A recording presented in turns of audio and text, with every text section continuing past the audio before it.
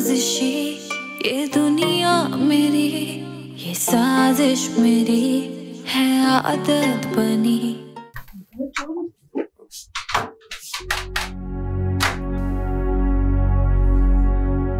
खालामी मैं मिकाल से बात करने आई थी पे। नज़र आ रहा है मुझे?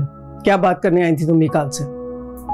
खालामी मैं सच कह रही हूँ। अब बात घर में होगी। इकरार के सामने। ये ये दुनिया मेरी ये साजिश मेरी है आदत बनी।